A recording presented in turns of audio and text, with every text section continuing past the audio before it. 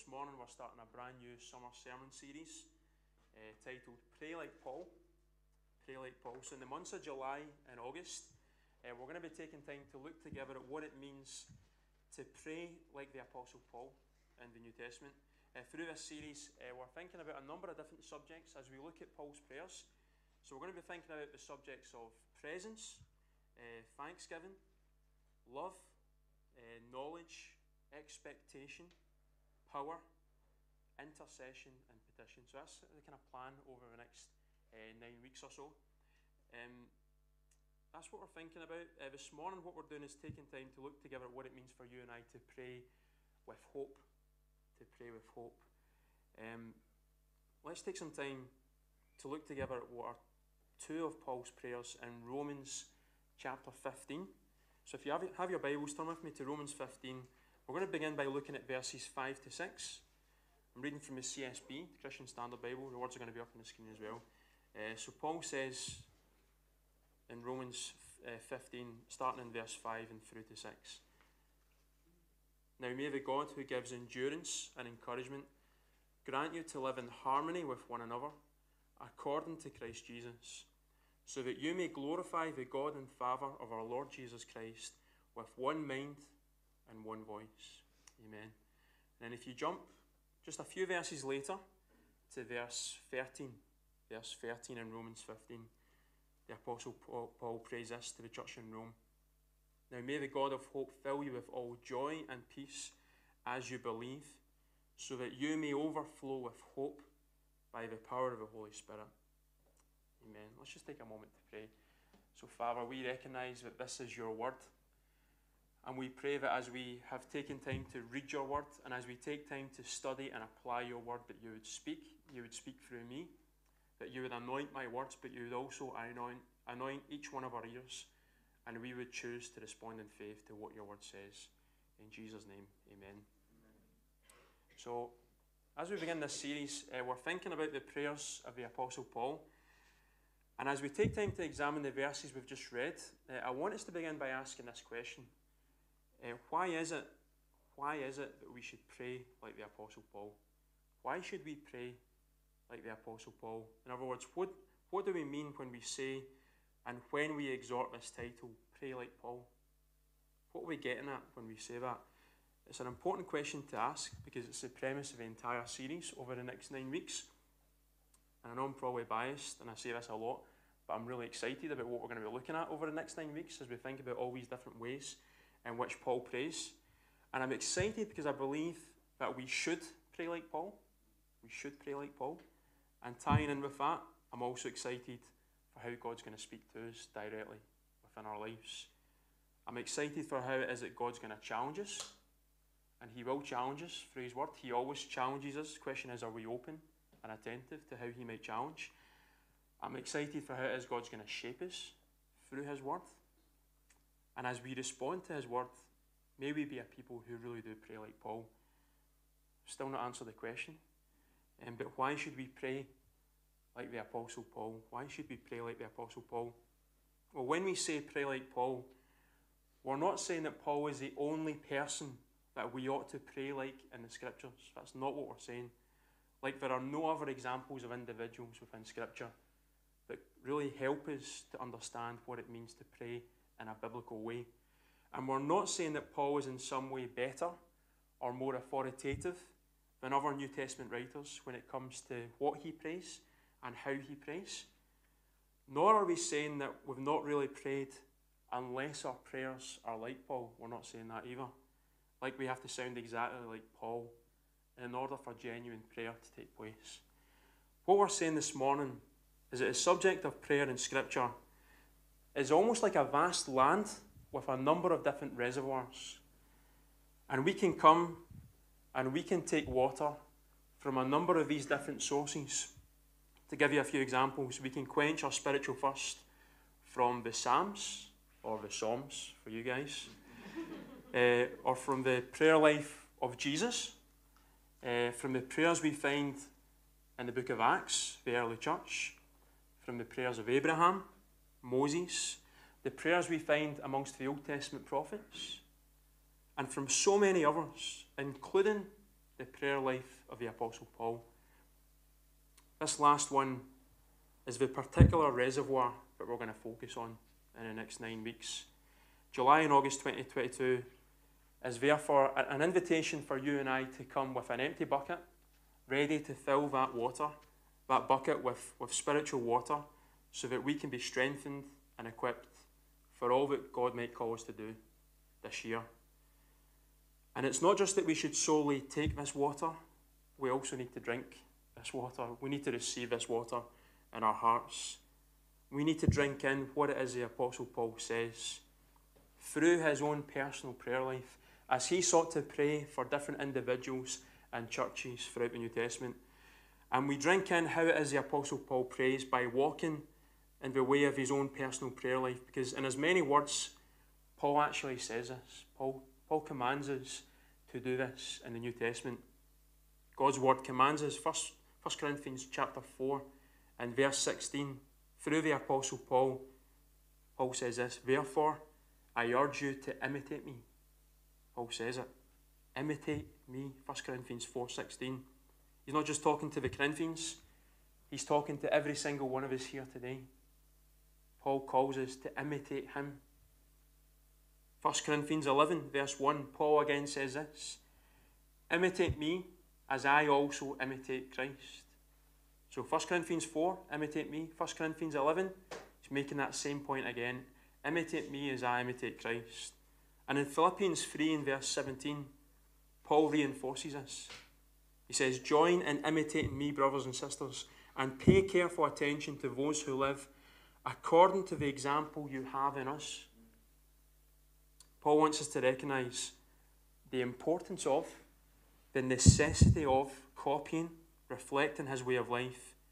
So confident Paul was in his walk with the Lord that he could say, Imitate me as I imitate Christ. I know I couldn't say that to any one of you today, and I know none of us could either. But Paul had such a closeness and nearness with God that he could say, Imitate me as I imitate Christ, including through his prayer life. So we can say with confidence this morning to pray like Paul is in fact to pray biblically, it's to pray as Jesus would pray. As Paul imitates Christ, we imitate Paul. What an exciting privilege for us this morning. What a great opportunity you have this summer. What an amazing calling that stands before you this summer to pray like Paul, to look at Paul's prayers and to pray like Paul, like the Apostle Paul. There's always a danger when it comes to Paul. We can get so caught up with the personality of Paul, Paul the man, that we forget something really important. We forget that when Paul writes, it's God. God is writing through Paul. So we can say that when Paul prays certain prayers, this is the word of the Lord, and God is speaking through Paul as he prays. Get your head around that. Paul is praying to God, and yet God is working in Paul to pray to him. Therefore, to pray like Paul is to pray as God has called us to pray because, because why?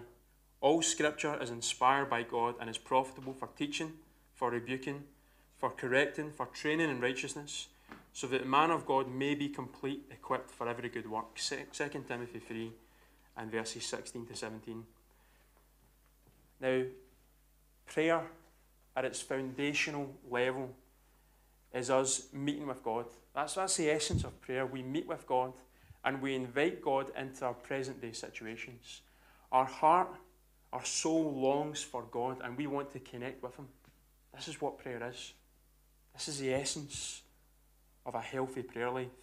And as we invite Him in, we worship Him, we thank Him, we ask Him for forgiveness, we seek His help in the midst of all that we face, we pray for strength that we can be everything that He calls us to be, that we can be effective faithful and fruitful for Him.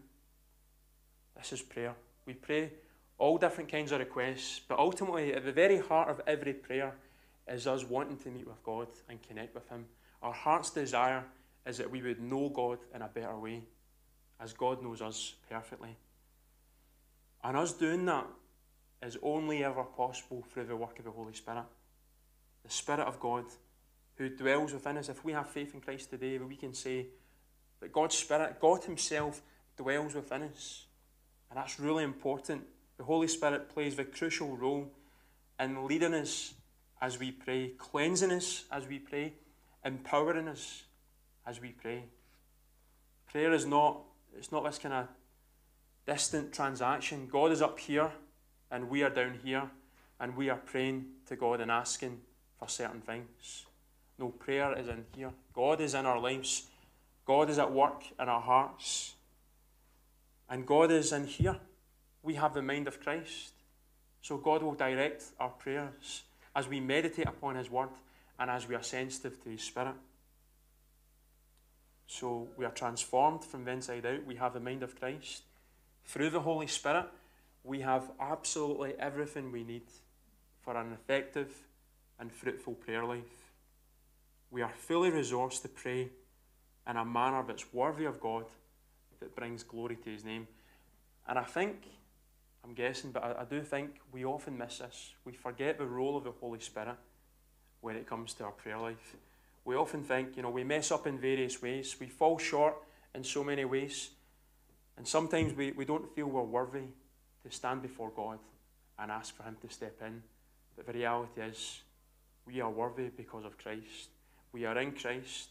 The Holy Spirit dwells within us. We can come before this throne of grace with boldness and confidence and ask that He would provide in our moment of need. And that is so important when it comes to prayer. Uh, ten years ago, almost to the day, I was at St Andrews and I was at my first ever Scottish Baptist Ministers' Conference. Uh, the only problem as I made my debut to this conference was I wasn't a minister. I wasn't a minister yet. Uh, I was a minister in training. I managed to kind of gate crash, sneak in, blag my way into this. Um, someone put a word in for me to attend. Uh, one of the primary reasons for wanting to go to this conference was Don Carson, who was coming to share. Uh, and there was about 60 or 70 ministers and Don Carson was there, and he was just pouring his wisdom into our lives. Don Carson's a, a famous, a well-known Christian author and pastor. The issue I had 10 years ago, I looked about 16 or 17. So people are probably wondering, who's this boy that's just turned up? Um, but I didn't care. I was there to hear the Don. Um, and each session, I would be sitting right in the front row, right in the middle, just soaking in all that he had to share. And it was it was a great conference. The one thing I remember from all that he shared as he unpacked the book of Ephesians over two days, two consecutive days, something we're actually going to look at later on, mid August, Ephesians chapter 3. But I always remember from what he's teaching uh, was, he, he unpacked Ephesians.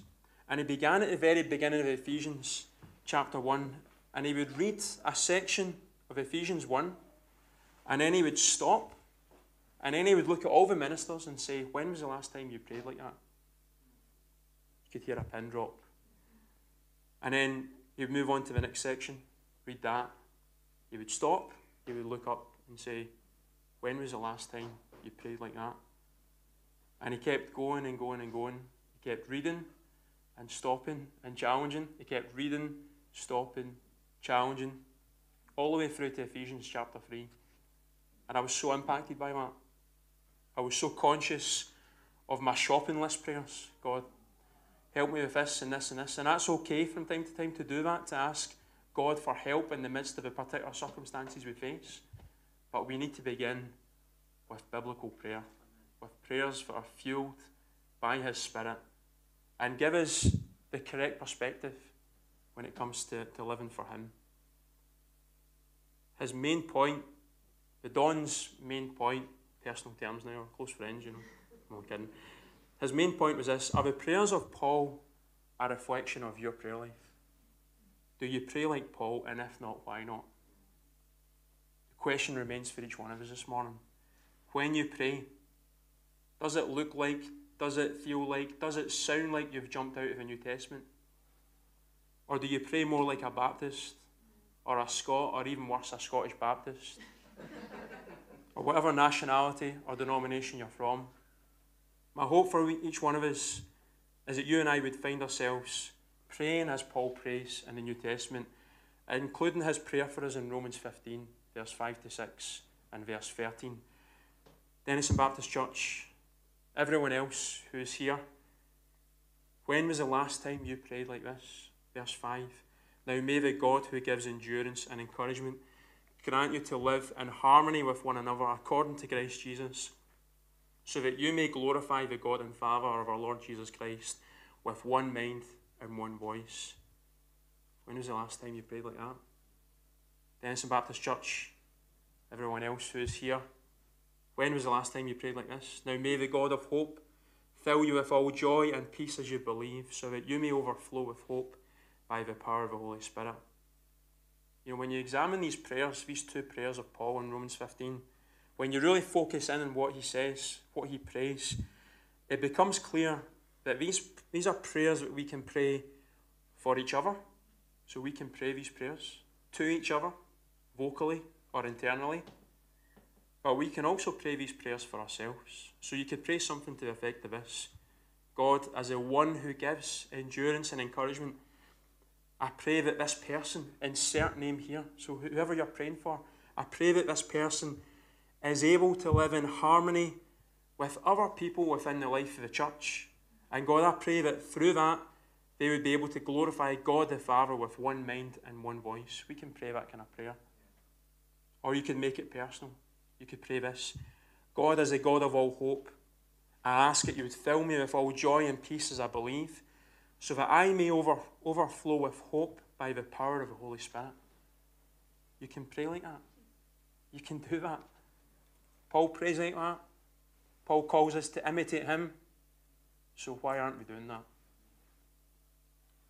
As we think about praying like Paul, it really is as simple as that.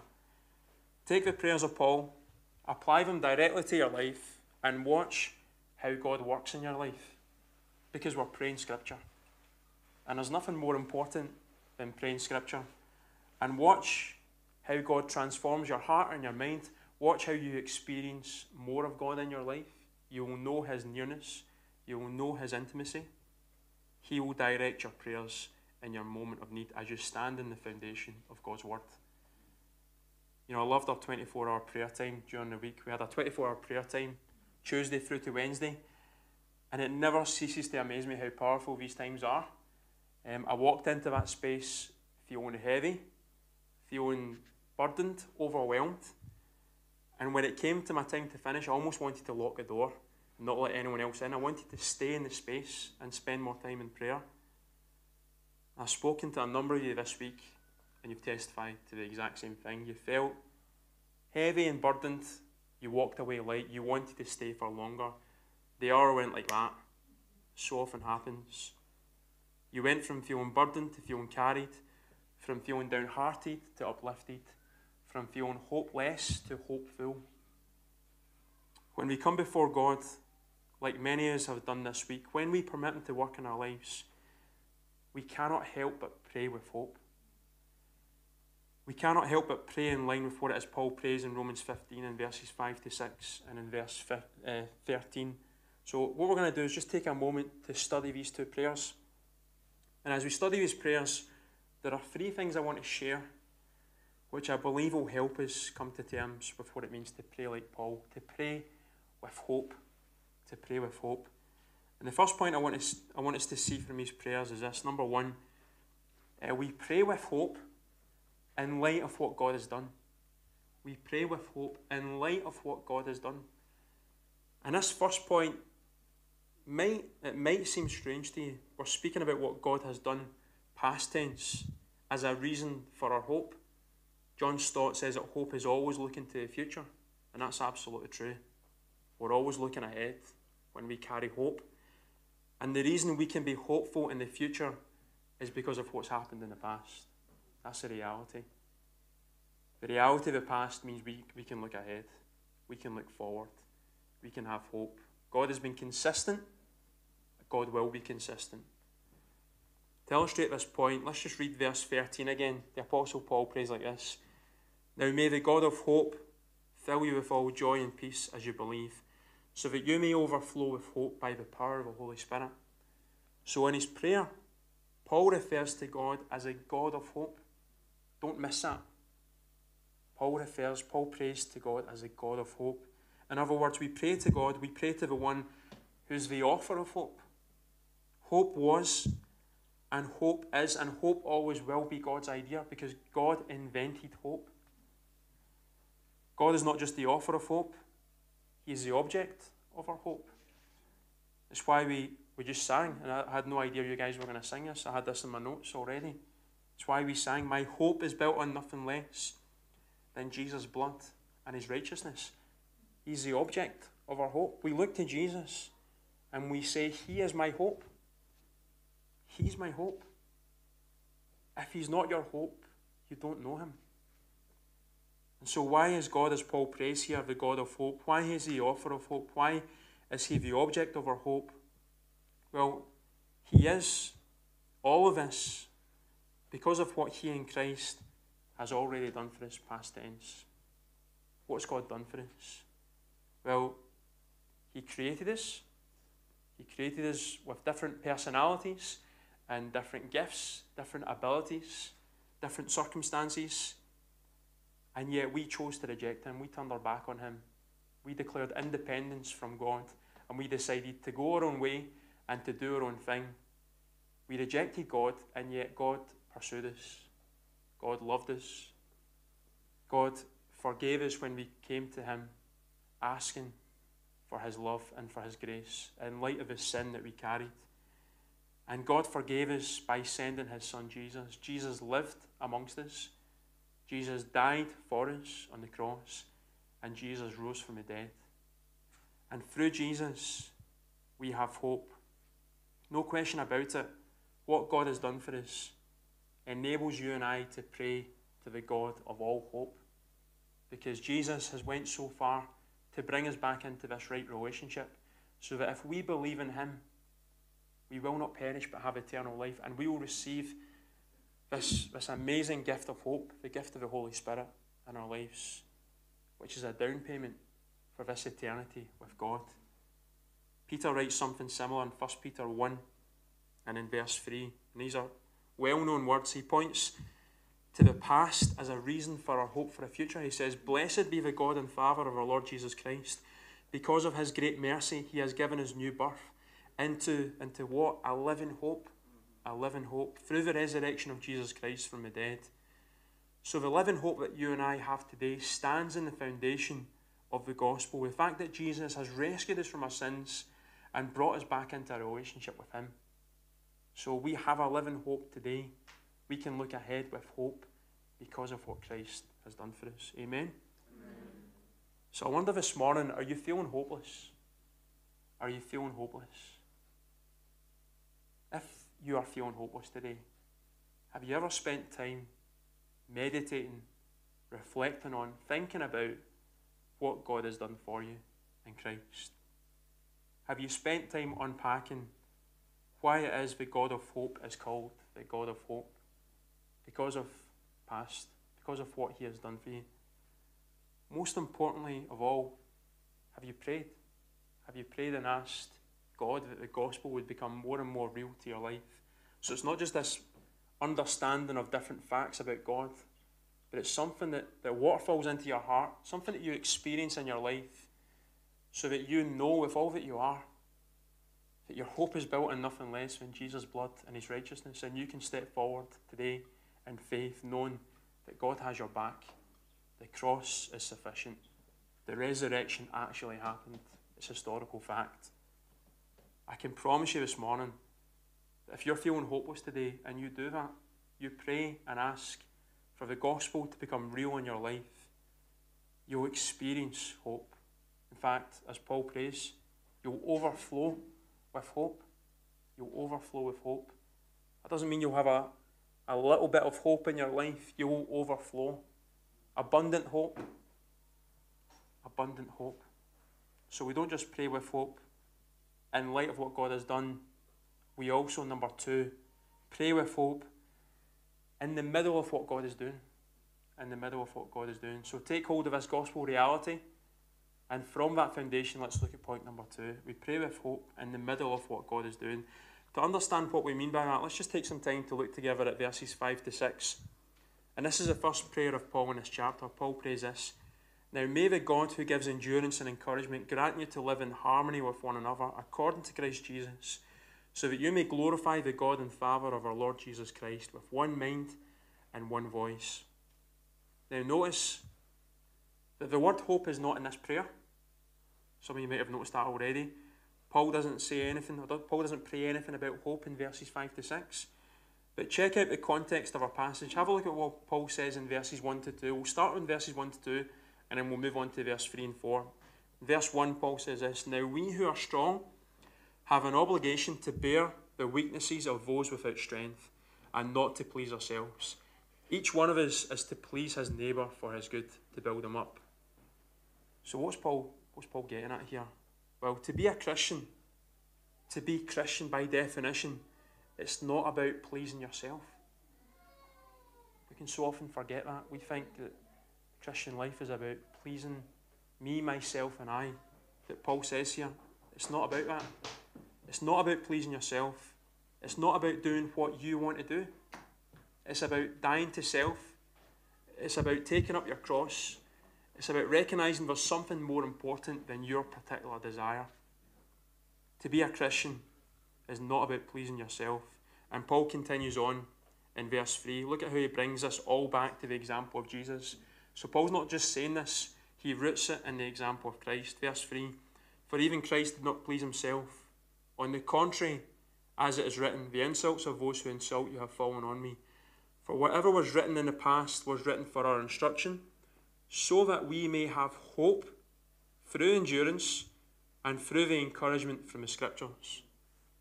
In other words, what Paul is saying here is the example of Jesus in the Scriptures was for our benefit, so that we might endure, so that we might be encouraged, and this in turn would bring about what? This in turn would bring about hope within our lives.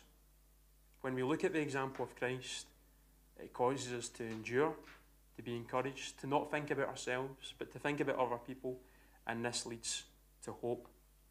And look at what this results in Paul's prayer in verse 5 to 6. Let me just read it again. Now may the God who gives endurance and encouragement grant you to live in harmony with one another, according to Christ Jesus, so that you may glorify the God and Father of our Lord Jesus Christ, with one mind and one voice. So, Christ's example at the top enables us to endure and be encouraged. This brings about hope in our lives. This causes unity within the church. We can't manufacture unity within the church. It all starts from Christ's example, and this is the pattern that Paul's following. Does that make sense? So when you and I draw near to God, He's changing. He's changing each one of us, not just us individually, He's changing us collectively. So when we draw near to God, we become more like Jesus within ourselves. But when we do that, when we draw near to God, we also become one as a church family. He's changing us personally, but He's changing us collectively as a family. So, no doubt, this will cause us to have hope. When you see God change you, when you see unity within the life of the church, you can't help but see hope in the midst of that. To give you an example, uh, last month, six weeks ago, probably two months ago maybe, uh, we prayed for Salah. I'm going to stop there, it wasn't three months. We prayed for Salah, um, and we were praying. What was our prayer for Salah? He was going through the mill, he was going through a really difficult time. We prayed, God, would you give us brother of ours short term accommodation in Glasgow? Salah was destined to, to move to Newcastle. Every government official was saying to Salah, you're definitely going to Newcastle. That was that was a promise from the government. The government doesn't promise a lot, but it promised that. And it was incredible. It was mind blowing as we prayed. We said, No, we, we do not want this to happen. Salah is as part of our family. We want him to stay here. And so we prayed. Salah prayed. We prayed together. We asked God, would you allow Salah to stay in Glasgow? And every Every aid worker, charity worker I spoke to in Glasgow said it would be very, very difficult. Some said it would be impossible for Salah to find accommodation in Glasgow. And at the very last minute, The taxi driver who was picking Sal up to go to Newcastle said there's been a change of plan. He's not going to Newcastle, he's going to Glasgow. Praise God. Transformation. Salah was, he took off his top and started dancing in my kitchen, giving it loudy. James was like, What's going on here? and no doubt about it, what happened in that moment instilled hope. It instilled hope for Salah, but it also instilled hope for each one of us because we saw how God answered prayer. For your own life, when you see God at work in the midst of the challenges and the sufferings of your life, let the Holy Spirit enable you to endure. Let the Spirit encourage you so that you pray with hope, with full expectation that God's going to help you now and that God's going to help you in the future. See, I'm more confident now in my prayer life because of what happened with Salah. And well, God, if you can help Salah in that impossible situation, and it's always that thing when in the moment you're like, there's no way this is going to change. And then when it does change, I'm so guilty of doing this. I say it was going to happen anyway. And that's so wrong. So wrong. God did what many might say a miracle in that moment. Still remember Salah getting a taxi from our house during missional community to his hotel in Glasgow with a big smile on his face, waving away. Never seen someone so happy going into a Glasgow taxi. so we should be encouraged, we should have hope. Have a look at what Paul writes earlier on in this letter in Romans 5 in verses 3 to 5. He writes this Not only that, it'll be up on the screen for us as well, but we, bo- we also boast in our afflictions because we know that affliction produces endurance, endurance produces proven character. Proven character produces hope. This hope will not disappoint us because God's love has been poured out into our hearts through the Holy Spirit who was given to us. So I can be hopeful today. I can pray with hope. You can be hopeful today. You can pray with hope because we see what God is doing in our lives right now. We see how God is answering prayer. I hope, I hope you can say, as I've said, as you see God at work in your life, may it instill hope. As you look to the future, may you be confident. So that's the second point. In the midst of what God is doing, number three, we pray with hope in anticipation of what God will do. So take a look at verse 13. We're going to look at verse 13 again. Now may the God of hope fill you with all joy and peace as you believe, so that you may overflow with hope by the power of the Holy Spirit. Now, that word now is so important, probably the most important word within that verse, because it connects what Paul prays in verse 13 with what he, what he says in verse 7 and 7 through to 12. In other words, the reason why I'm praying that the God of hope might fill you and cause you to overflow with hope is because of what I'm sharing in verses 7 to 12. This is what Paul is essentially saying. Verse 7 to 12, making some key points here.